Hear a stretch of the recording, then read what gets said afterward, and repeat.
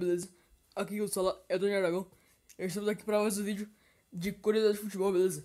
Dessa vez aqui uma notícia que saiu hoje de manhã que a Roma é vendida por novos acionistas por 591 milhões de euros.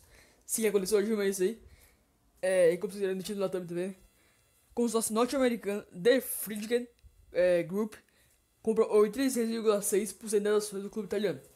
A Roma anunciou nesta quinta-feira a venda de 86,6% das ações do clube, do clube para o consórcio The Friedkin Group, da propriedade do Estado unidense, né, dos Estados Unidos, Dan Friedkin, por 591 milhões de euros, que hoje dá equivalente a 2 bilhões e 900 milhões de reais, mais ou menos, beleza? Após meses de negociação, parte dos contratos foi assinada na noite de, quarta-feira, mas o documento definitivo deverá ser concluído apenas no final do mês, né, mas eles já anunciaram, beleza? É, de acordo com a nota oficial, a Roma tem o direito de ficar com parte do depósito feito pelo The Friedkin Group, caso o negócio não seja concluído até o dia 17, né? É, porque pode acontecer uma reviravolta, etc. É, se a transação for concluída dentro do prazo estipulado, a obrigação de oferta por parte do consórcio norte-americano pelos outros 13,4% das ações da Roma. Aqui é o comunicado oficial da Roma, da Roma no Twitter deles.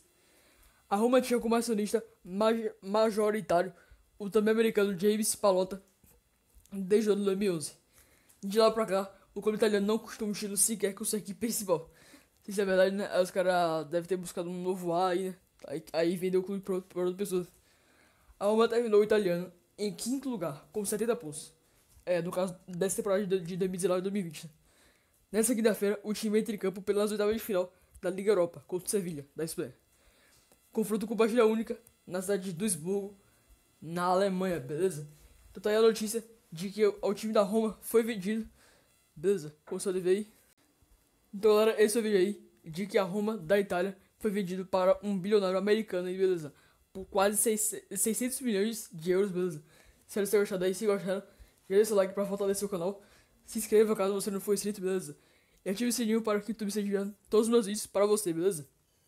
E comenta aí nos comentários também o que você acha sobre essa venda aí, se foi boa ou não. E o que você acha que, que, que vai acontecer com a Roma, beleza? Então é isso, vou ficando por aqui. Falou e fui!